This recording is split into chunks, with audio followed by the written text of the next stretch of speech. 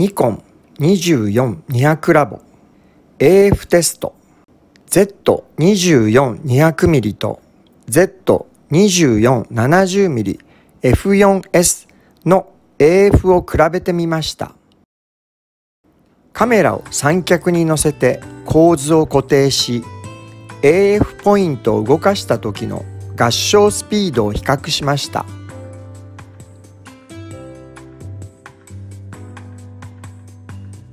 左側が Z2470mm F4S 右側が Z24200mm です。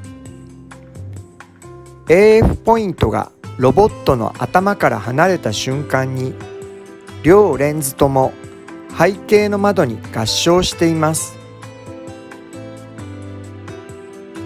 24200も十分な AF 性能を持っています。